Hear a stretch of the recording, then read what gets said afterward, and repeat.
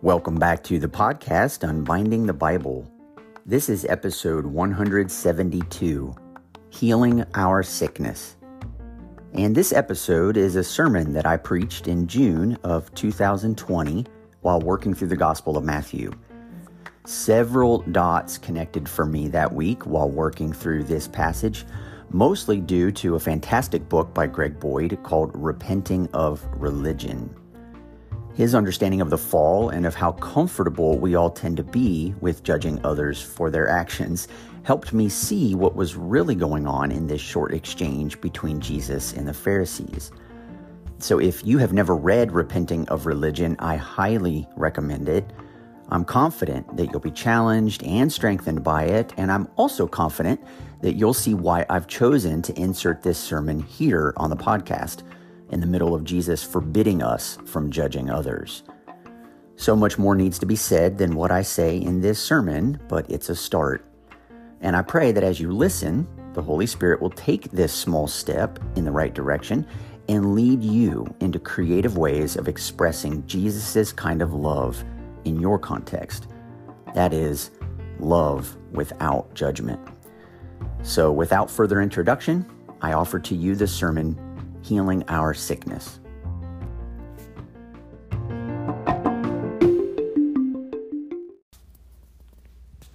The Holy Gospel of our Lord Jesus Christ according to Matthew.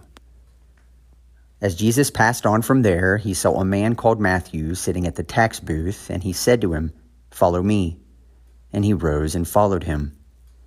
And as Jesus reclined at table in the house, behold, many tax collectors and sinners came and were reclining with Jesus and his disciples.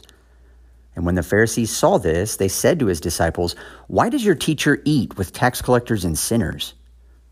But when he heard it, he said, Those who are well have no need of a physician, but those who are sick. Go and learn what this means. I desire mercy and not sacrifice. For I came not to call the righteous, but sinners. This is the gospel of the Lord. Now, I love passages like the one that I just read. Um, in passages like Matthew 9, you and I get to see Jesus in action. His coming, particularly as a physician, he says, to heal those who are sick, inviting tax collectors and sinners to share a meal with him. And so, what I want to do this morning is to look with you at Jesus in action. I want us to see who Jesus is, what Jesus does, and why many people around Jesus respond to him in the way that they do. Now, this is, this is actually why we've all gathered here today in the first place, isn't it? To praise and honor Jesus. And I can't think of a better way for us to do that than to try to understand Him and then try to understand ourselves in response to Him. If we can do that this morning, then I believe we can both honor Jesus as our King and be transformed by Him ourselves in the process. And so, one thing that I think will go a long way in helping us to understand what is going on in this passage would be to ask a couple of questions.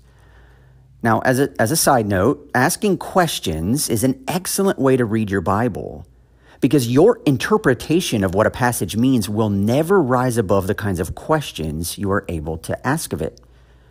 What I mean is, the more willing we are to ask hard questions, or, you know, questions without easy answers, the more opportunity we give Jesus to transform us with the answers. Because the truth is, we will never see what we aren't looking for. And good questions help us to look for the right kinds of things.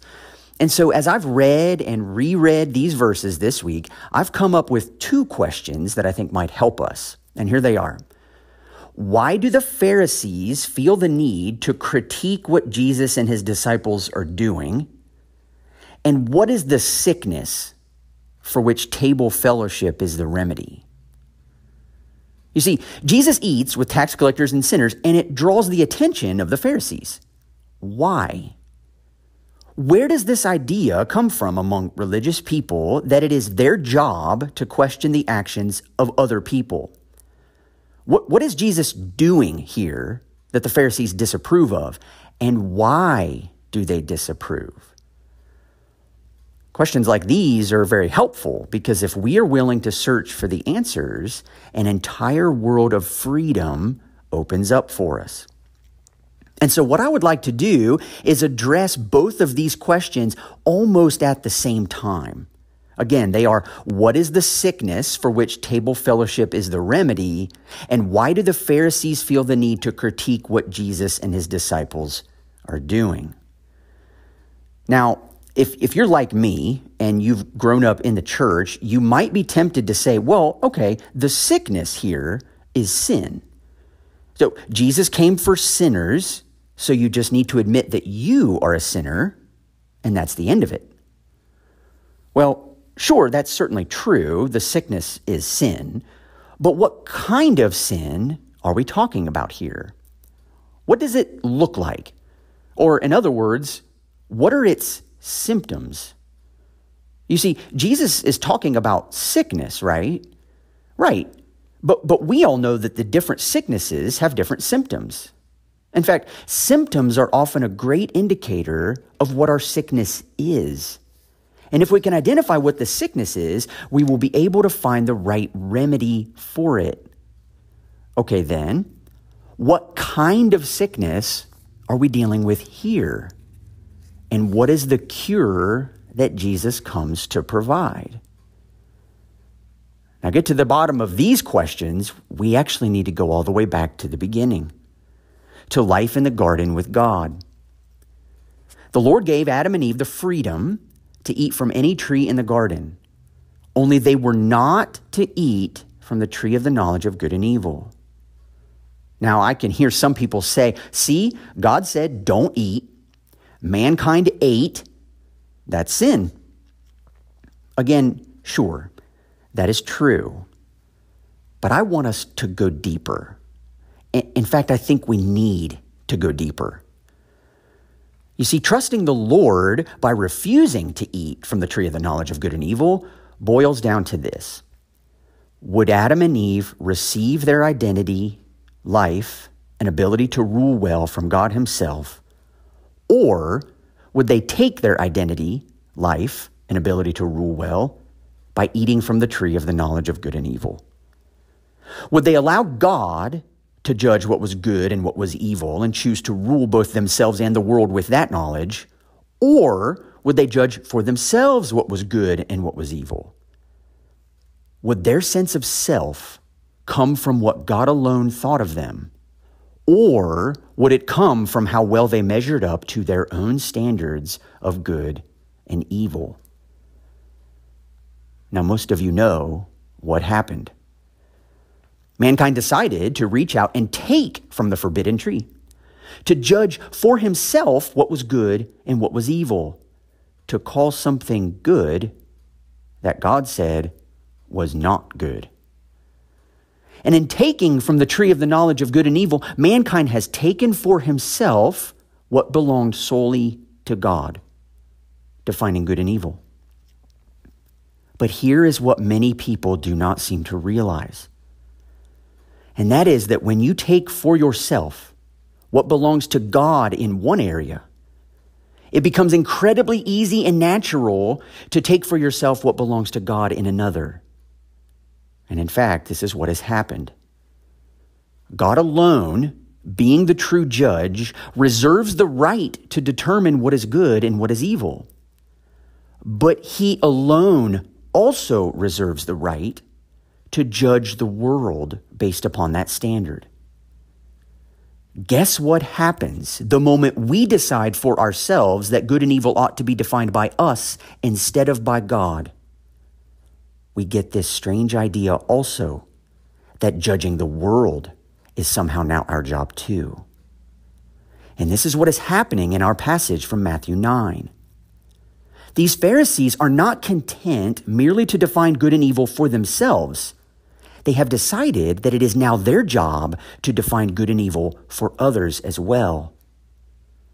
When you read this short passage of Scripture, does it strike you as odd that these Pharisees are concerning themselves with events that have nothing to do with them?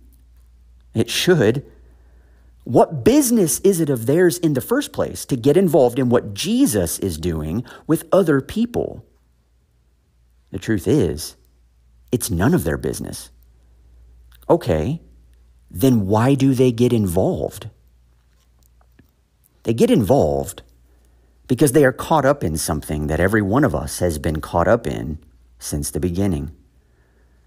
They are playing a game. And here's how it works we come up with lists of all the kinds of things we think are good in the world and that people ought to be doing, and all the kinds of things we think are evil and that people should avoid. We typically size ourselves up against our own lists and either become proud based on how well we are living up to our definition of good, or ashamed based on how poorly we are living up to our definition of good. And the same, of course, goes with the evil category, priding ourselves on how much of the evil we avoid, or shaming ourselves based on how much of the evil is present in our lives. But with religious type people, like the Pharisees, for example, this game takes on a dangerous dimension. Because the religious crowd listens to God, or reads their Bibles, or goes to church, or makes great sacrifices out of their devotion to God, and because they receive their encouragement for doing all of these things from God Himself, they believe that their definitions of good and evil are the same as God's. And since they believe themselves to be so closely aligned with God on how they define good and evil, again, a job which belongs to God alone, they feel perfectly at home in aligning themselves with God in how they judge the outside world. And the worst part is, they feel justified doing it because they see it as their faithfulness to God. This is what the Pharisees are doing with Jesus and the people he's eating with. Notice the label, though, that the Pharisees use when describing actual people. They are not people to the Pharisees, they are sinners and tax collectors. Notice even the way Matthew tells this narrative, though. He makes sure we know that when Jesus calls him, Jesus sees him as a person he is Matthew, who happens to be sitting at the tax booth. Jesus addresses him as a person, not by the poor career choice he has made. Now, in contrast to Jesus, though, these sinners, the Pharisees believe, are an ugly stain on the Israelite nation, a sure sign that God stands ready to judge the nation unless those sinful people clean up their lives. Seeing Jesus eating with tax collectors and sinners instead of rebuking them becomes an actual offense to the Pharisees. Who does Jesus think he is? Doesn't this Jesus know that God hates sin? You see, what faithful religious type Israelites, again, like the Pharisees, thought would happen when their Messiah came was that he was going to judge the world. They believed that he would bless the people of Israel, mostly the faithful among them, who lived up to God's standards, and that he would curse their enemies, those the religious Israelites felt were not living up to God's standards or who were actually opposing God and his people. In other words, they conceived of judgment like this their Messiah would come and praise the good people and condemn the evil ones. He would honor the faithful and dishonor the wayward. He would shower blessings on the godly and pour out curses on the ungodly. In short, they imagined their Messiah, God's representative, would play by the rules of their game. And according to their rules, they would be praised and the sinners would be condemned. And then Jesus shows up. And he does the one thing no one saw coming. He refuses to play their game. Jesus does not define people as either good or evil. He does not put them in categories at all. He does not praise the faithful as good or condemn the unfaithful as evil. He simply doesn't play the game. Instead, Jesus comes proclaiming, You are not fundamentally good or fundamentally bad. Rather, you are fundamentally loved. Loved by my Father and by me, and I am inviting you in to relationship with us. This system that you've created, where you define good and evil for yourselves and then categorize people based upon those definitions, yeah, that's the sickness I've come to heal you from. Those who are well, Jesus says, have no need of a physician, but those who are sick. In other words, Jesus has come to heal those who are tired of playing the game. Now, in a world where everyone plays this game, we have to ask who stands to lose more if Jesus ends the game? Right, those who see themselves as good. You see, when Jesus calls people to repentance, I wonder how many of us naturally assume that what he means is repent of all the evil that you've done. But what if Jesus' call for repentance actually runs much deeper than that? What if the sin for which Jesus was calling people to repent was the sin of believing that people can be categorized? That they can be approved of or rejected based upon how good or evil they are? What if following Jesus demands not only repentance from all that we've labeled evil, but also that we repent of all the things about ourselves that we've labeled good? And so, if God desires that we repent of the idea that people can be categorized, how do you think He would demonstrate a better way? How would God show people that He loves them as people? and not as categories to be accepted or rejected. I think he would do what Jesus does.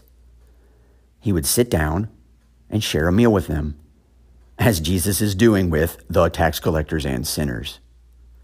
Now, you, you might ask, well, then why does he single out these people? Hasn't he come for everyone? He has, as long as everyone is willing to admit that they are sick in other words, the people Jesus spends so much of his time with are those first in line to stop playing the game. They've been categorized for far too long, and not the good kind of categorization. They've been on the receiving end of judgment, criticism. They've been labeled as unworthy. And Jesus changes all of that when he sits down at a table with them. Now, why is that? What happens when you share a meal with someone? What happens around a table? Well, you get to know people. You hear their stories. You find out about their lives. You come to understand what makes them who they are. You learn about their struggles, their victories, their sorrows, and their joys. You find out that there is so much more to a person than what you can see on the surface. And you come to see that real people in real life cannot so easily be placed into categories. And neither can you. And they don't like being categorized or judged any more than you do. Sharing a meal with someone allows us to see them as people just like us and no longer as the other who are unlike us. This is the dynamic at work when Jesus eats with tax collectors and sinners. He's come to heal the sick, and he's inviting everyone to the table.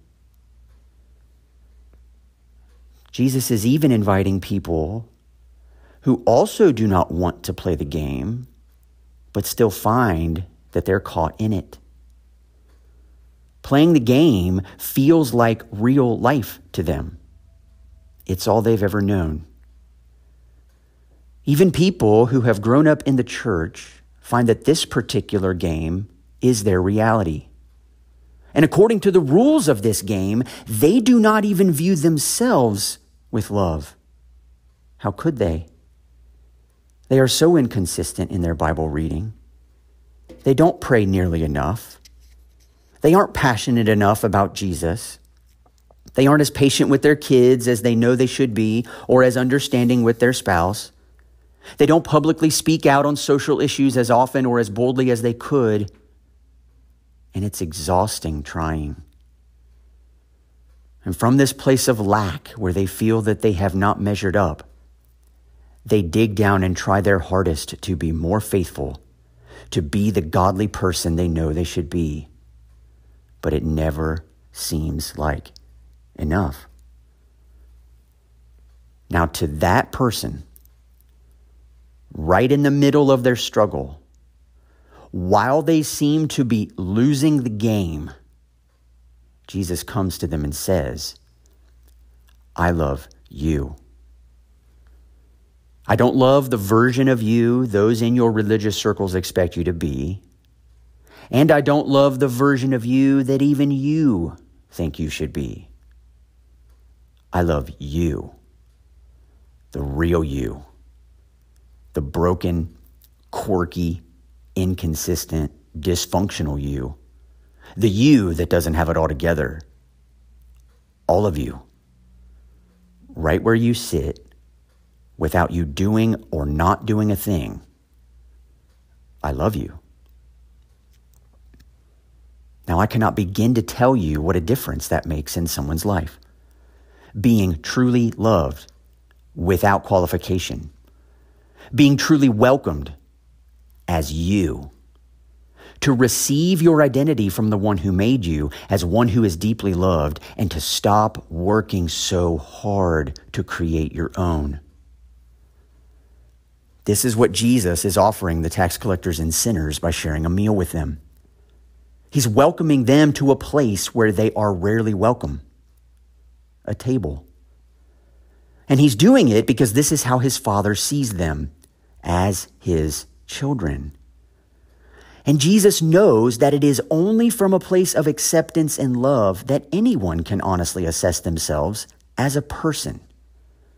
It's the only way that anyone can honestly assess the choices they've made or not made, the path they are currently on, the direction their life is headed, and any shame they may be carrying along with them.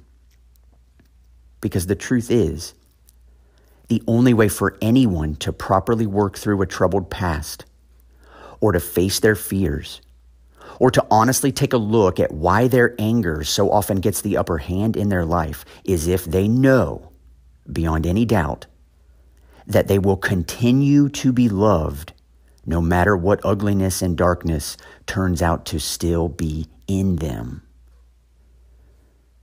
To be known and deeply loved is one of the most rewarding realities of human existence, but it does not come without a price. The price for deep love is an equally deep vulnerability an opening of yourself to the one who knows you at your deepest levels, even better than you know yourself. And he wants to get to know you at that level. And get me on this point. He wants you to get to know him at that level too. You see, Jesus is both loved for not playing the game and hated for not playing the game. The difference lies in how much investment people have in playing the game. And the level of investment each of us has will be in direct proportion to how well we are able both to receive love and to give it. Jesus stands ready today to give you an identity one completely separate from all other identities, including identities that you've created for yourself. He offers us an identity as one who is loved by God. And all we have to do is receive it. Amen.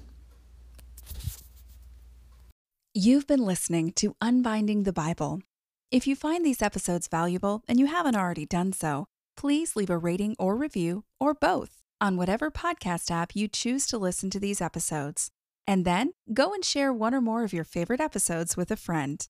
You can also reach out to Joshua with any comments or questions to unbindingthebible at gmail.com. Thanks for listening and have a great week.